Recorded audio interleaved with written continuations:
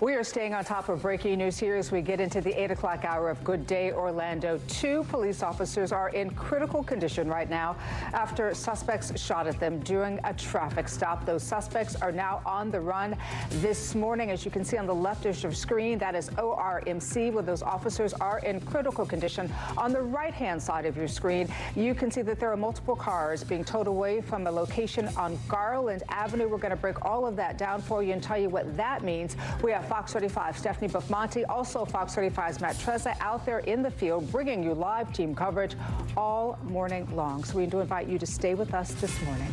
Our next hour of Good Day Orlando starts right now. Good Day Orlando starts now with breaking news. This is a sad day for our department. For the suspects out there, we will find you and you will be brought to justice. Thank you. And now on Good Day Orlando here at 8 o'clock, a manhunt is underway. Two suspects are on the loose, accused of shooting two Orlando police officers. Right now, we're looking at a live look from downtown Orlando. This is on Garland Avenue. You see police officers investigating the crime scene this morning. Uh, just a moment ago, we saw cars being towed away. They were being inspected again. This is an active investigation as officers and the entire police department look to find those suspects. Again, uh, right now, you're looking at video. This is where the two officers officers were gunned down. Our Fox 35 crew has counted at least a dozen evidence markers on the ground there. Also, a wall of officers are lining the streets of downtown Orlando overnight investigating what started as a traffic stop and ended up as a multi-county search. And we, of course, are bringing you live team coverage all morning long. Fox 35 Stephanie Belmonte is live at ORMC, where the two officers were rushed late last night. And Fox 35's Matt Trezza is live Apopka, where a massive search for those suspects is underway right now.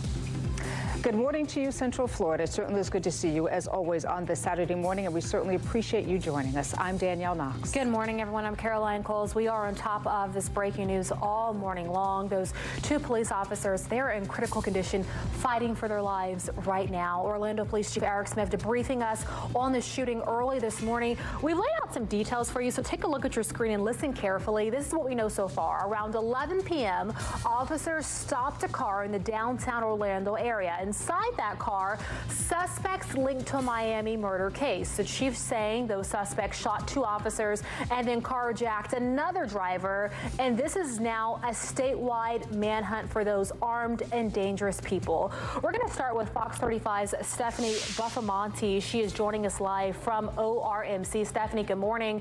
Agencies from across Central Florida are helping in the case and sending thoughts and prayers this morning to those two officers fighting for their lives right now.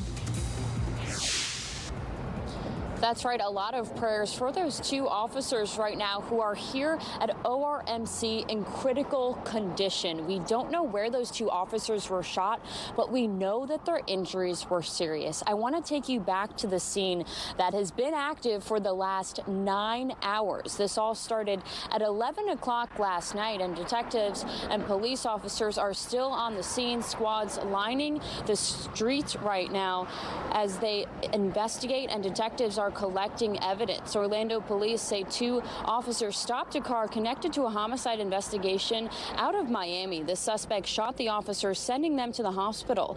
Police say the suspect then stole another car, took off, leading police on a chase. The Orlando police chief, Eric Smith, had brief but strong words for the suspects who are on the run.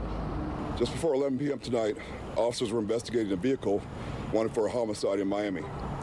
During the stop, the suspect shot two of our officers. The suspect then carjacked another car, and a vehicle pursuit ensued. We are right now actively looking for suspects. I want to thank the other agencies that are assisting us with this manhunt.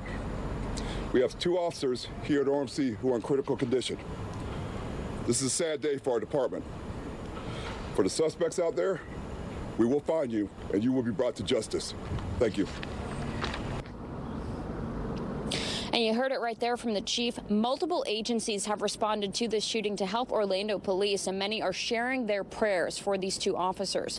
The Orange County Sheriff's Office posting this on social media saying, quote, we are pulling for the injured officers and standing shoulder to shoulder with our OPD partners tonight, doing everything we can everything we can to bring these suspects to justice. Please join us in praying for the officer's recovery.